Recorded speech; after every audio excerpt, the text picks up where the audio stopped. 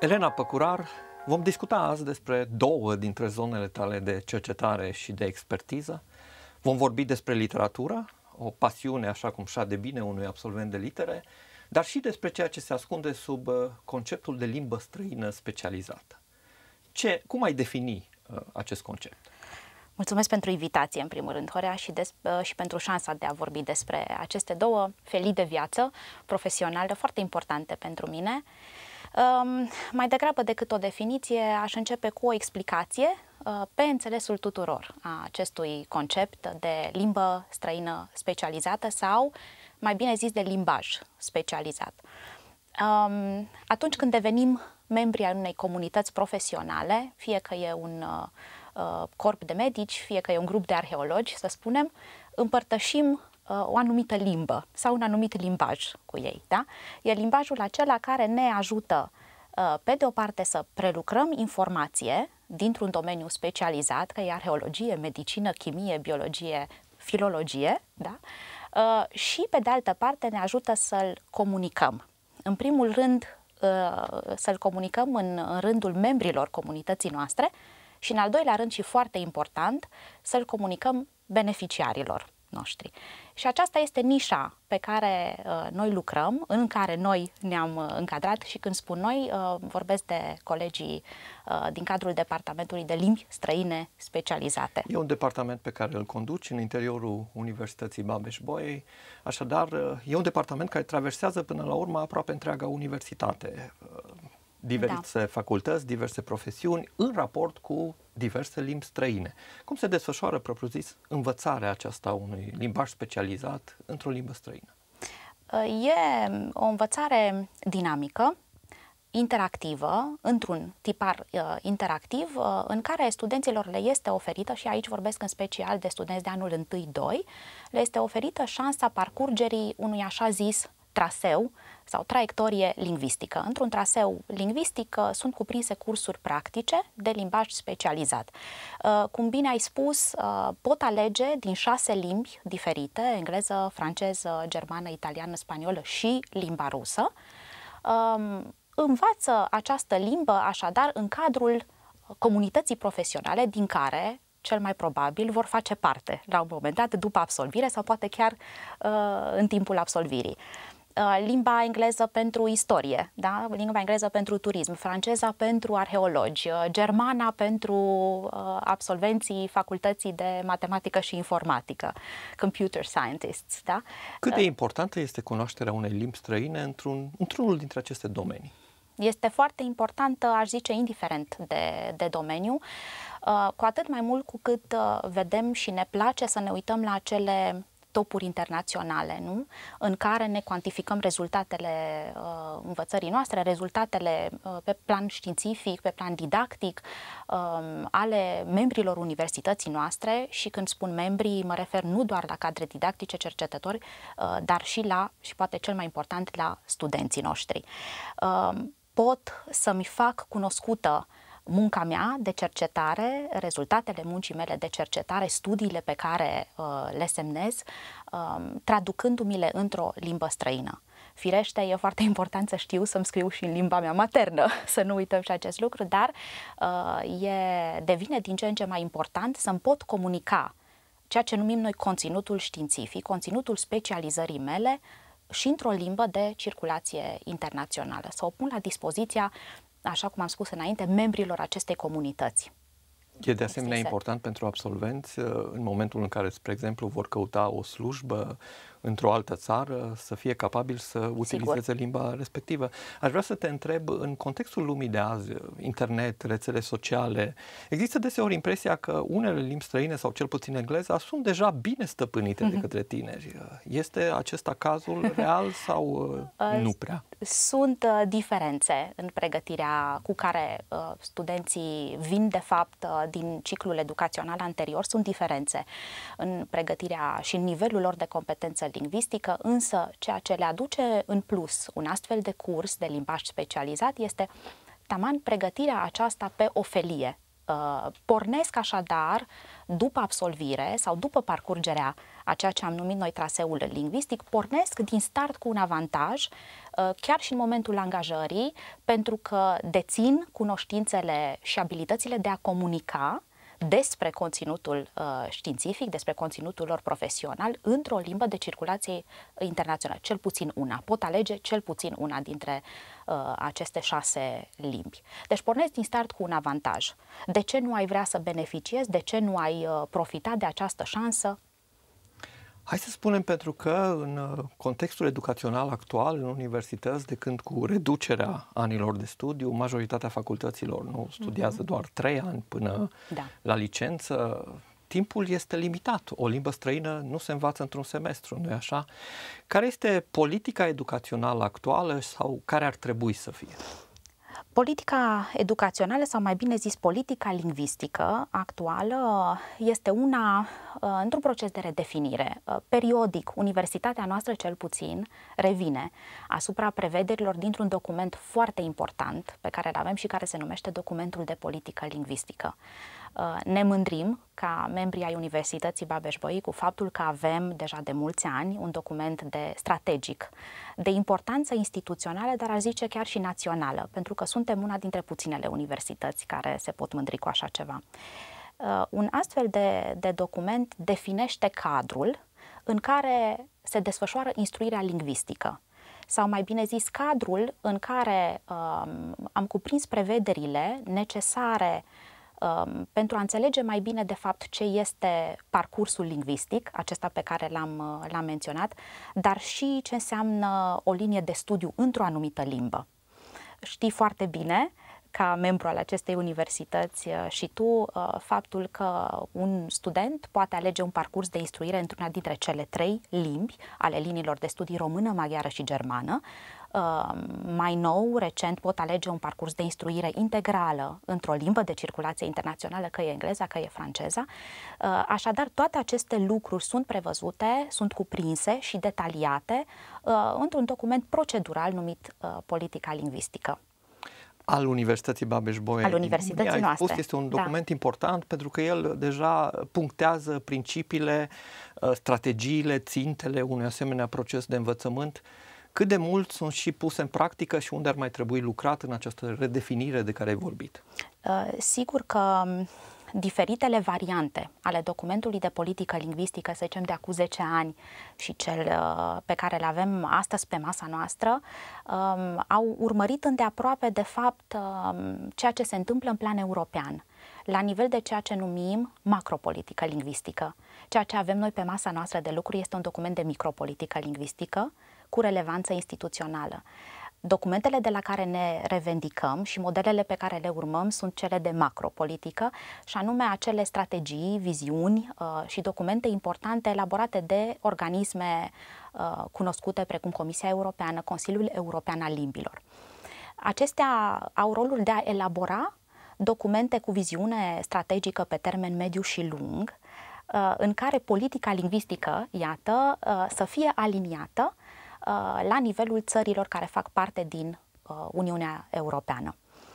Uh, revendicându-ne de acolo, bineînțeles, în momentul implementării unor astfel de, de macropolitici ai o problemă, pentru că întotdeauna implementarea se traduce și se adaptează respectând nevoile locale. Și când spun nevoi, mă refer la nevoile beneficiarilor direcți, care sunt studenții, dar și uh, constrângerile instituționale, fie că sunt constrângeri de ordin financiar, de cele mai multe ori, uh, fie că sunt uh, constrângeri sau limite legate de uh, chestiuni administrative. De aceea, Elena da. Păcurar, care crezi că ar fi situația la nivel național acum, dacă ieșim din cadrul unei universități, spre uh-huh. exemplu, în politicile educaționale actuale, Zona lingvistică este de ajuns de bine apreciată? Ar mai trebui ceva făcut? Care este părerea ta? Cred că situația nu este fericită niciunde. Nici, uh, nu mă refer aici doar la nivel național, uh, ci și la nivel internațional. Un rol mult mai important ar trebui să fie atribuit pregătirii lingvistice și aici mă refer nu numai la studenții filologi, uh, ci și la studenții nefilologi. Vreau să împărtășesc cu tine faptul că în urmă cu doi ani, în așa zisa eră pre-pandemică, am organizat o masă rotundă la care l-am avut invitat special pe fostul președinte al uh, Consiliului European al Limbilor, pe domnul uh, Manuel Selio de Consei Sao, care ne-a împărtășit exact aceleași temeri, uh, frici, poate și anxietăți legate de modul în care se implementează un document important de macropolitică la nivelul instituțiilor europene, instituții de învățământ superior în special. Uh, și a faptului că, iată, nu este un fenomen izolat, acesta pe care îl vedem uh, noi, ci este, din păcate, un fenomen răspândit la nivel european și anume acela de a uh, nu acorda suficient timp, poate suficientă finanțare unor astfel de parcursuri, uh, de altfel foarte importante pentru devenirea unui viitor profesionist, a unui viitor angajat. Da? pregătirea lor lingvistică. Pentru a rămâne un pic în da. zona aceasta politicii educaționale, hai să vorbim puțin și despre literatură. Literatura nu are un document macropolitic sau micropolitic. Uh, spui că nu are nevoie, în același timp, mie cel puțin mi se pare că ea este cu totul marginalizată în lumea în care trăim, instituțională sau nu. Care este situația ei? De ce crezi că nu are nevoie și cum se descurcă pe compropriu? Uh, nu cred că are nevoie pentru că în general, din experiența mea cel puțin uh, și prin prisma contactului pe care îl am periodic cu câțiva dintre masteranzii uh, programului de studii irlandeze din cadrul Facultății de Litere, studenții știu, de obicei știu ce să aleagă, uh, ce să citească și cum să citească. Uh, poate este cazul fericit al acestui program de masterat, dar n-aș, n-aș zice. Uh, cunoscând profilul masteranzilor de la Facultatea de Litere, aș zice că știu să aleagă foarte bine. Nu știu ce se întâmplă în afara comunității foarte restrânse uh, a studentului filolog. Nu știu ce se întâmplă neapărat la celelalte facultăți sau în afara, în afara zidurilor universității, în societate în general. Pot să mă uit cel mult la statistici și să constat și eu, românul nu citește suficient. Um, sper doar că statistica se va îmbunătăți. Însă ceea ce am putut să văd um, în cadrul uh, acestui masterat, unde predau două cursuri, unde am șansa de a preda uh, două cursuri prin colaborare, este că uh, se citește și se citește destul de atent cu creionul în mână. Așadar, într-o comunitate restrânsă, hai să zicem, de cercetători sau de experți, această pasiune pentru literatură își are încă locul și își desfășoară, Sigur. să zicem, travaliul. Uh, literatura irlandeză, ce definești drept literatură irlandeză? Cum se, cum se numește? Ce, care este zona unde se aplică acest concept? M-ai invitat să uh, lansez niște definiții foarte dificile astăzi, Horea, dar iată ce înțeleg eu prin literatură irlandeză, uh, prin prisma iarăși a experienței mele de fost masterand acestui program, acum cadru didactic, o literatură extrem de creativă, o literatură care a anticipat forme, uh, literare uh, care a inovat. Dar care este uh, scrisă uh, în limba engleză. Și care este scrisă, sigur, în limba, așa zisa, limba tatălui, da? limba, uh, limba engleză, dar care, iată, i-a asigurat și o circulație și o vizibilitate la nivel, la nivel internațional. A existat așadar o șansă pentru scriitorii irlandezi care, iată, au ales să publice în limba tatălui sau a stăpânului, să zicem, de a uh, sumina sau a munci din interior această limbă? De a o da, schimba pe ea însă? De a o inova, de a o inova sau de a o duce la un alt nivel de, de creativitate. Și aici vorbesc în special de moderniști, nu? Știm cu toții ce s-a întâmplat uh, în literatura irlandeză din perioada modernismului și imediat după, după modernism, dar se întâmplă și în literatura mai recentă, în literatura contemporană, de final de secol 20, uh, început de secol 21, în care, iată, literatura aceasta uh, își caută noi moduri de a se raporta la limbă, de a se raporta la țara, uh, țara sa și de a se raporta la lume în, în general. Poate cele mai interesante romane scrise uh, în uh, secolul 20, dar și în secolul 21, sunt cele scrise și semnate de autori care au ales să plece. La un moment dat din Irlanda și... Uh, Poți să dai câteva exemple? Nu pot să nu-l menționez pe Joyce. Uh, avem cazul lui Beckett, firește, și o seamă de scriitori contemporani pe care chiar îi studiem în cadrul unui curs uh, din programul de studii irlandeze, literatura diasporei irlandeze.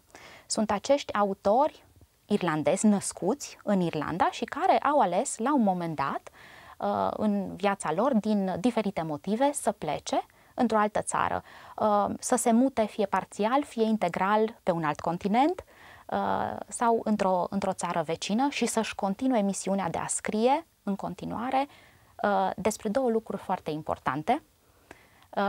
Mulți dintre ei scriu în continuare despre casă, mulți dintre ei scriu în continuare despre familie, despre ceea ce îți conferă rădăcini. Da?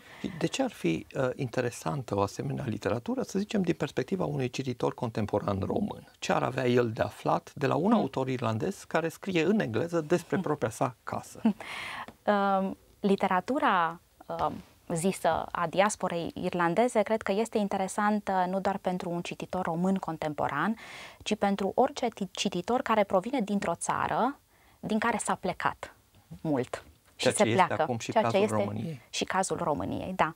Și se întâmplă un fenomen foarte interesant în momentul plecării, uh, această distanță pe care mulți dintre ei și-o asumă, voit sau nevoit, uh, este, le conferă și o, o anumită claritate, poate, o luciditate a viziunii față de ceea ce a fost odinioară casa, ce a fost familia, uh, despre ceea ce înseamnă limba uh, în care, în care au scris. Uh, și e o distanță necesară care de multe ori vine la pachet cu un soi de nostalgie, poate melancolie, a recuperării uh, rădăcinilor. Uh, alte ori vine la pachet cu, cu un ușor sentiment sau resentiment, dar de fiecare dată e interesant să, să te raportezi la trecutul tău, la o istorie care ți-a fost o dinioară familiară, prin prisma unei distanțe geografice, fizice și de multe ori emoționale. Elena Păcurar, ai adus două cărți ca recomandări pentru spectatorii da. noștri. Despre ce este vorba? Uh, sunt două, le-am, nu le-am adus întâmplător, m-am gândit, uh, m-am gândit să, să vă pun pe masă două sugestii de lectură, mai ales în lumina experienței recente pe care am avut-o în contextul sanitar pe care îl cunoaștem cu toții. Sunt două romane publicate la o distanță mică de timp, unul în 2009, celălalt în 2010, semnate de doi autori care s-au născut în Dublin, au trăit în Dublin, uh, Irlanda și s-au mutat uh, în alte părți. Unul dintre ei este Colin McCann, un autor uh, de succes care trăiește momentan uh, în America, în New York, dacă nu, nu mă înșel, uh, și autoarea care mi-a devenit tot mai dragă, Emma Donoghue, care s-a născut în Irlanda, a plecat în Canada. Locuiește în Canada și scrie, publică acolo. Sunt două romane interesante pentru că ne arată, de fapt, ce se întâmplă în momentul în care lumea se oprește în loc, în momentul în care lumea îngheață într-un uh, într-o anumită uh, geografie sau într-un spațiu sau între niște limite um, constrângătoare. Da?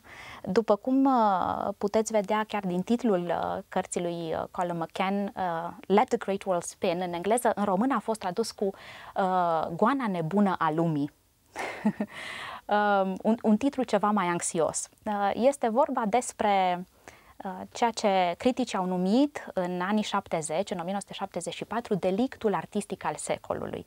Un acrobat, uh, un echilibrist, uh, întinde o coardă între cele două turnuri gemene din Manhattan și execută o mișcare de acrobație, de fapt parcurge de mai multe ori coarda de la un capăt la celălalt între cele două turnuri, ultragind întreg Manhattanul. Uh, e un fapt real, aceasta nu este ficțiune, acest lucru s-a întâmplat, s-a și făcut un film uh, pe marginea acestui subiect. Acest nebun numit uh, Philip Petit execută o mișcare. Ceea ce este interesant e modul în care îngheață lumea de dedesubt și modul în care viermuiala, traficul, mișcarea, uh, din, dintr-un New York, metropole. unei da. asemenea metropole, cu oamenii care se mișcă de desubt în gheață și cu toții privesc pentru câteva minute acest spectacol înfricoșător. Sigur, uh, ceea ce e mai interesant în, uh, în această carte nu e spectacolul în sine, ci ceea ce se întâmplă de desubt. Da? Aceste vieți care se intersectează, uh, viețile uh, unui grup de, de mame care își deplâng fi pierduți în Vietnam, un grup de prostituate foarte simpatice din New York, un călugăr irlandez, iată, da, rătăcit pe străzile din New York și așa mai departe. Dar în jurul unui eveniment particular, o radiografie a lumii, a lumii contemporane, da. valabilă și astăzi, după cum ai sugerat. Pe scurt, ce se întâmplă în uh, celălalt roman, Room? Room, uh, tradus camera, da, uh, în limba română, un roman uh, mai întunecat, da, despre un cuplu mamă și copil de 5 ani uh, care sunt constrânși uh, să trăiască într-un lockdown Uh, pentru că uh, sunt captivii unui, uh, unui nene rău, da? acest bătrân Nick, cum îl numește copilul, care i-a capturat, este abuzatorul mamei, uh, îi ține captivi într-o cameră improvizată, copilul se naște în captivitate, trăiește în captivitate, uh, și uh, sigur are senzația uh, de înțeles că lumea întreagă uh, este de fapt circumscrisă între patru pereți și un uh, acoperiș care are un luminator. Este singurul contact vizual cu lumea exterioară. Elena Păcurar, ceea ce părea aici o experiență particular, uh, excepțională, am putea spune, în contextul ultimilor ani, uh, s-a dovedit că are ceva legături cu viața în general. Crezi că literatura are capacitatea de a ne învăța asemenea experiență. Ai vorbit uh, în prima parte a emisiunii despre faptul că o limbă străină specializată îți permite accesul într-o comunitate științifică, cunoașterea literaturii ce îți permite, ce îți dă? îți permite să anticipezi, cred că mult. Iată, un astfel de roman care a fost publicat în 2010 îți poate spune ce se întâmplă atunci când întreg, întreaga ta lume se reduce uh, la un spațiu foarte limitat și să știi că nu se întâmplă lucruri îngrozitoare neapărat, există și o tentativă de evadare, nu spun cum se termină romanul ca să nu uh, uh, stricăm plăcerea cititorului. Uh, Așadar, literatura ne poate ajuta să anticipăm multe dintre, de multe ori literatura o ia înainte, înaintea vieții, ă, alteori ne poate ajuta să înțelegem mai bine ceea ce ni se întâmplă. Aceeași autoare bunăoară pe care am menționat-o ă, va publica, dacă nu mă înșel chiar anul acesta, un nou roman despre o evadare a unor indivizi pe o insulă. Da? Evadează în urma unei epidemii pe o insulă unde vor să se retragă. Deci iată cum uh, poți înțelege poate și din altă perspectivă ceea, ceea ce ți s-a întâmplat, ceea ce urmează să ți se întâmple. Um, și de multe ori poți înțelege um, viața și lumea uh, în, în tonuri poate mai colorate. Elena Păcurar, mulțumesc pentru acest dialog care dovedește că și cunoașterea unei limbi și cunoașterea literaturii sunt nu doar relevante pentru trecut și pentru prezent, ci mai ales pentru viitor. Mulțumesc! Mulțumesc!